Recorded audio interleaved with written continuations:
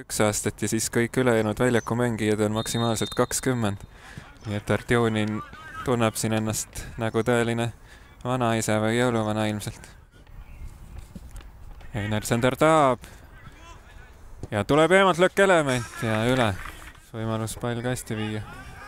aga ei, Artjonin alles oli keskjoone juurde jõudnud oma vanade jalgadega ja päris hea löök Vassiljevilt. Kristal, sööt Lutsule. Luts, Troonom on ka kastis, Luts lööb ise ja, ja poolmaa oli kohal.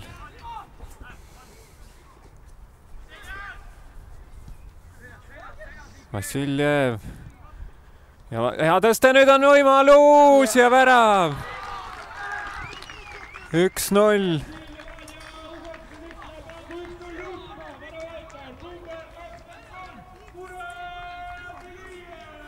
ja Velijev siis see, kes värava lõi ja päris huvitav tähistus ka.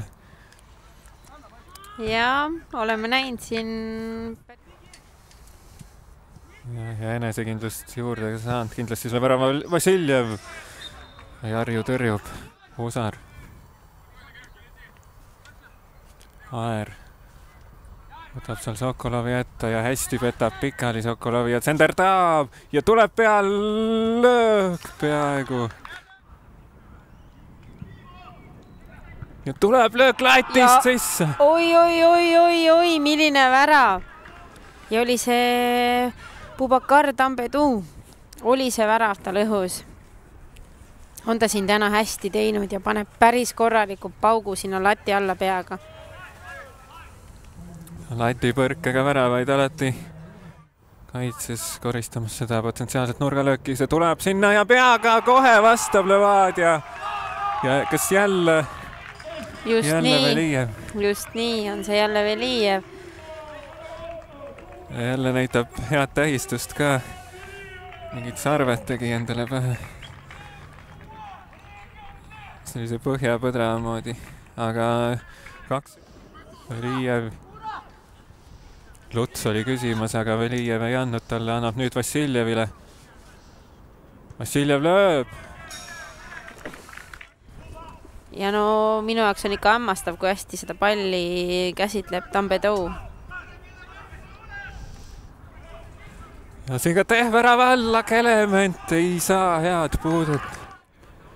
Läheb kapten ise siit seda karistuslööki lööma. lööb väravavahi nurka ja nüüd siis Kreismerit testis.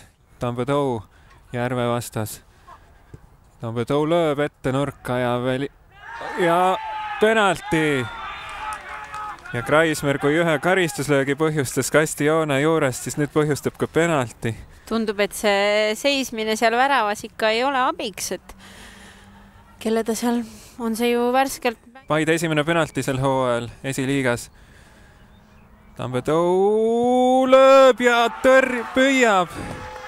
Krais. jõudnud ma öeldagi veel, et kui siit Tambedou penalti ära lööb, siis võib öelda ju, et äh, ja, ja kohe tuleb Levadia vastu ja Jarju väga hea tõrje sealt Jarju. kätte, küsib seal Kelement, aga siin Teht läheb ise, sõidab kaasmaale selle Tambedoule, Tambedou ja lati ja Kelement ja nüüd on sees aga suluseis element petab, läheb karistusalasse, petab veel. Ja nüüd terav pall värava ette, seal on Kreismeri käed vahel, Liiev. Liiev läheb ja proovis tõsta sealt, tuleb löök, ilus löök, superlöök Laskovilt, kerge latipuutega ka veel sealt kastijoone tagant ja nüüd on Levadia võidus kinni ja esikohas kinni. kolm-üks kaheksakümne teisel minutil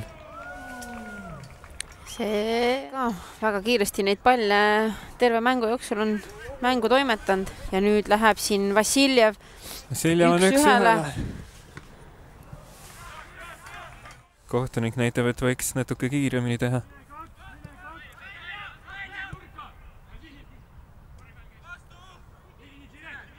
Vassiljev lööb. päris hästi seal keerutas ära viimase mehena nüüd Kelemendilt senderdus. Einer kasti taga, Einer sätib endale löögiks ette, lööb ja jah, aga väga südikalt ikkagi Levadia neid, seda palli veel hoiab ja vilistabki kohtunik mängu lõppenuks ja mängu, tänase mängu võidab siis Tallinna FCI Levadia duubelmeeskond. ja tõuseb siis ka esiliiga liidriks